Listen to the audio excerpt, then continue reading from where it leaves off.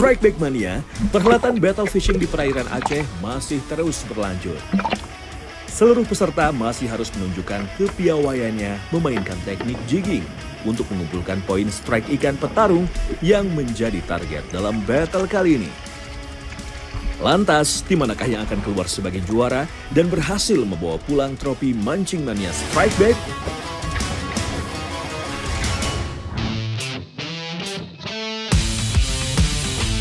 Burhan langsung bersemangat menurunkan umpan metal jig andalannya. Benar saja, baru beberapa kali joran dimainkan, sambaran pun langsung didapat.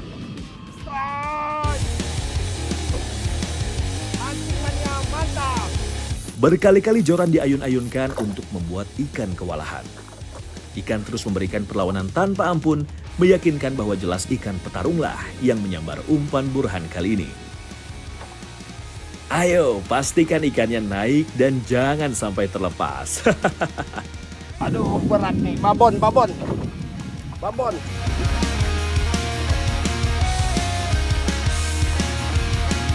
Rido, rekan setimnya pun kompak memberikan air minum agar tidak kelelahan. Haus, haus, haus.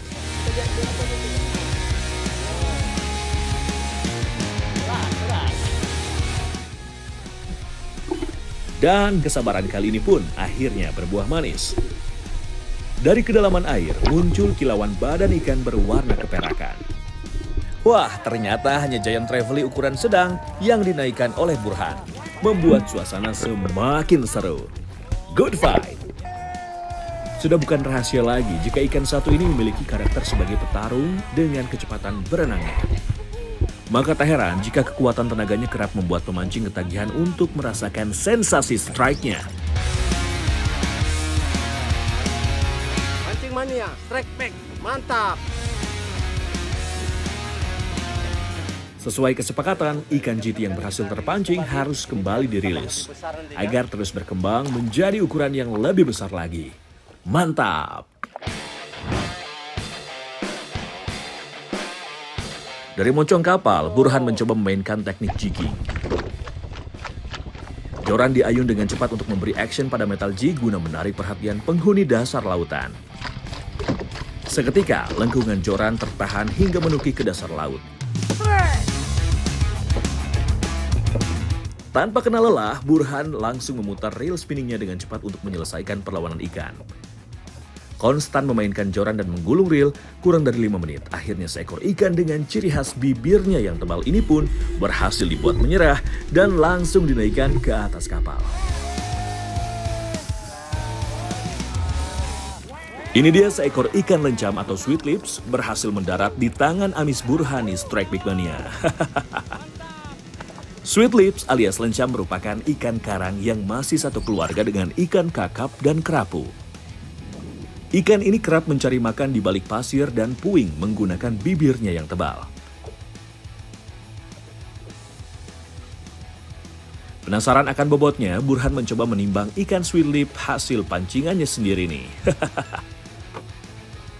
2,67. Mantap. Lumayan. Mancing mania, track back. Mantap. Sebelum saya lanjut battlenya, saya penasaran nih untuk membedah ikan berbibir tebal ini.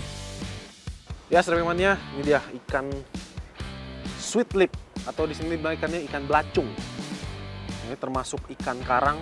Ini bisa kelihatan dari uh, motif sisiknya ya. Jadi dia warna-warni banget tuh. Nah, ini ciri khas banget ikan-ikan yang hidup di karang nih. Dia warnanya menyerupai karang, jadi sebagai bentuk pertahanannya dia tuh. Ini yang menarik nih dari bibirnya yang unik nih, bibirnya tebel banget. Ini walaupun bentuk bibirnya nih lucu ya, tapi ini dia termasuk ikan predator di karang dia. Dia makannya krustasea, makan ikan-ikan kecil. Jadi dia makan mangsanya tuh yang krustasea yang berkulit-kulit keras. Makanya dia kekuatan bibirnya sama rahangnya kuat dia. Ini bahkan giginya tajam. Kita bisa lihat nih. Nah ikan sweet lip ini termasuk ikan hemaprodit dia kebanyakan lahir sebagai betina dan ntar pas musim kawin dia berubah jadi jantan jadi sekarang saya mau lihat nih sekarang dia jantan atau betina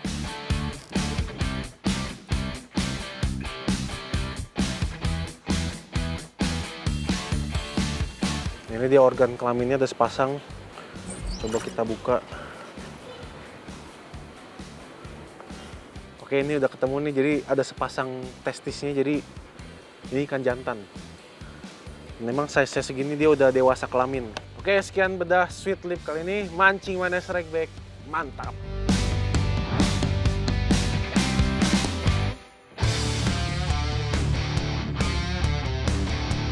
Di hari kedua, battle kembali dilanjutkan. Rido baru saja umpan dimainkan, hentakan joran pun tertahan, tanda mendapat sambaran.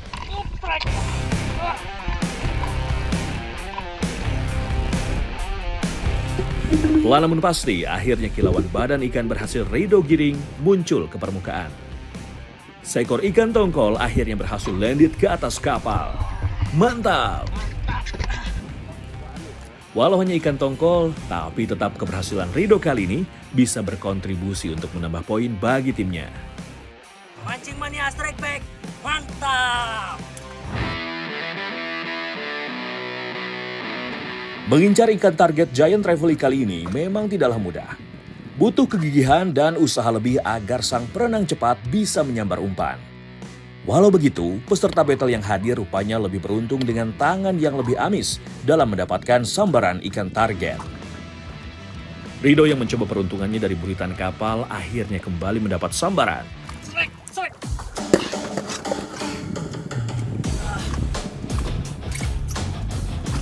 Ayunan ombak sesekali menyulitkan Rido untuk menyeimbangkan tubuhnya dalam meladeni perlawanan ikan nih. Tapi jelas bukan jadi halangan bagi Rido untuk menaikkan ikan. Dan akhirnya, seekor ikan giant Trevally berhasil duduk manis di pangkuan Rido nih Strike Big Mania. Good fight!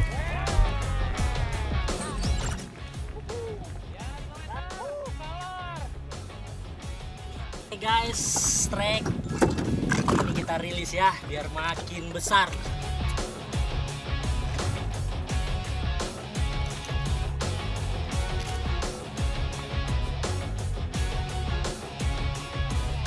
Dengan banyaknya Giant Trevally yang naik di sini, bisa dikatakan inilah spot Giant Trevally.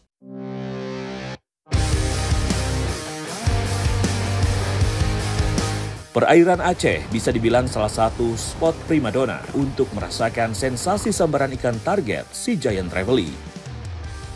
Namun dari hasil yang saya rasakan sendiri, nampaknya GT sudah mulai susah didapat. Ini bukan tanpa alasan. Selain pertumbuhannya yang lambat, persebaran habitat GT memang sangatlah luas. Tidak hanya di laut, sang predator yang dikenal punya daya renang super kuat juga dijumpai pada perairan Laguna. Salah satunya bisa dijumpai di Paisu Batongan, Banggai, Sulawesi Tengah. Danau air asin yang terbentuk secara alami ini tidak hanya dihuni oleh ubur-ubur, tapi sang predator penghuni karang pun juga hadir agresif menyambar umpan.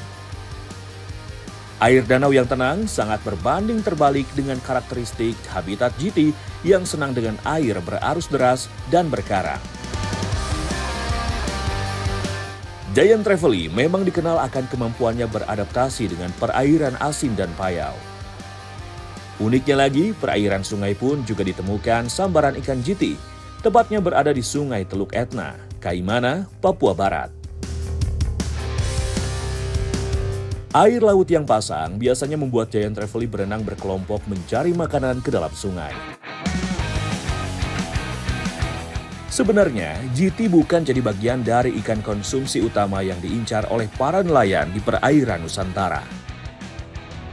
Ukuran ikan GT yang lebih kecil, di bawah ukuran 6 kg, punya daging berwarna putih, sedikit kering, dan punya rasa yang lebih enak. Daging ikan GT yang lebih besar dari itu biasanya sangat kering dan keras.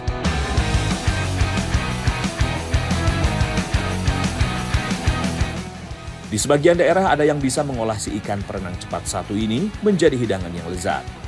Saya pun pernah merasakan sendiri sajian pesmol kue grong yang super nikmat di Pangandaran, Jawa Barat.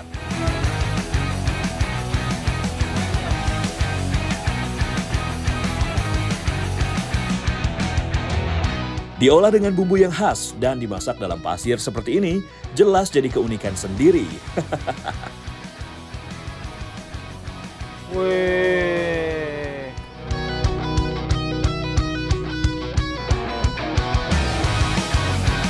Ini pertama kali saya makan ikan yang dimasaknya pakai dipendem di pasir gini. Jadi aromanya juga nggak smoky smoky gitu ya. Unik unik dah. Dan ini wah karena bagian perutnya dimasukin bumbu-bumbu juga. Nah, nih ada bumbu-bumbu, ada serai, ada apa. Jadi bagian yang deket perutnya Wangi. paling iya paling tasty, paling wangi.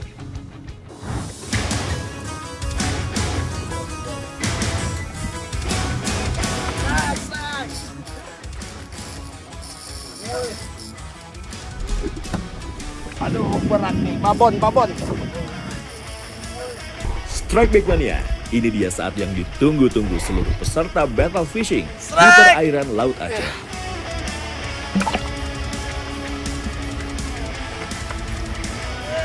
Semua peserta sudah mengerahkan seluruh tenaganya untuk mengumpulkan poin strike ikan. Dan poin strike terbanyaklah yang akan membawa pulang trofi Mancing Mania Strike Bag. Jadi yang menang adalah tim Bang Rito dan Bang Burhan. Selamat untuk tim Rido dan Burhan yang berhasil memenangkan perhelatan battle fishing di perairan Aceh. Mantap! Oke, ini kita hukum ya Bang ya. Dihukum apa nih? Jadi jangan cuma mancing aja, bot nggak pernah bersihkan. Kali ini bersihin Oke. Bang, ayo.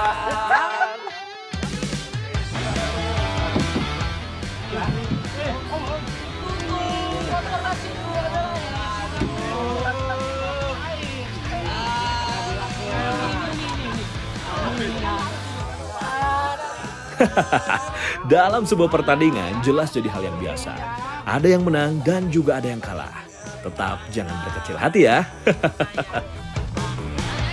Mancing Mania Strike Back, mantap!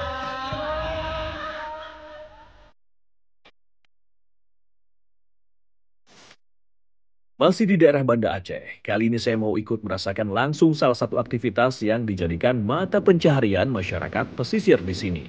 ini lagi panen tiram. Jadi di sini namanya apa kayak keramba tiram. Long, long tiram, long tiram. Bahasa sih. ya. Jadi kayak keramba dan dikasih bat-bat bekas. Jadi ntar tiramnya tumbuh di ban-ban.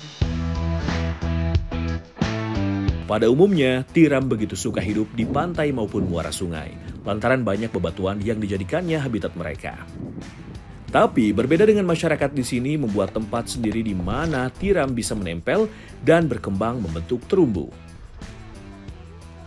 Kerambah tiram ini memang sengaja dibuat dengan susunan kayu dan ban bekas yang diikat sampai terendam seperti ini. Kerambah dibiarkan terendam di dalam aliran muara sehingga ketinggian air akan terpengaruh pada pasang surutnya air laut. Karena hal ini juga tiram bisa dengan cepat berkembang biak dan menempel pada ban-ban di sini. Lantaran lebih suka tinggal di dasar yang keras, membuat tiram memiliki cangkang yang jauh lebih kasar dan tajam dibanding kerang. Apa kulit tiramnya tajam-tajam semua. Jadi kita semua lengkap nih. Pakai sarung tangan. Tajam banget.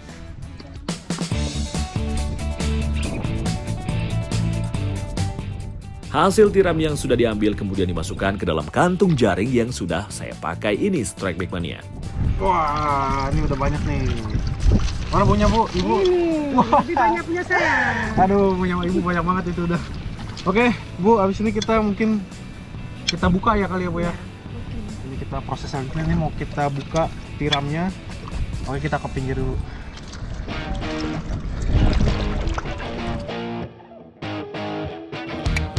Ternyata susah juga buka tiram nih. Dari tadi saya baru kelar satu, ibunya udah banyak banget tuh. Teknik mengupas tiram jelas tidaklah semudah kelihatannya di Strike Back Mania. Caranya di sini dengan mencari mata atau titik di mana ada celah terbuka pada kulit kerangnya. Diketok-ketok dan setelah itu baru dicongkel untuk bisa mendapatkan isi daging tiramnya seperti ini. Jadinya si sekali pergi manen tiram nih bisa dapat 15 kantong yang setengah kilo tuh ya berarti kurang lebih dapat 7 kiloan lah dijualnya satu kantong tuh 15.000 ribu mancing mana strike back mantap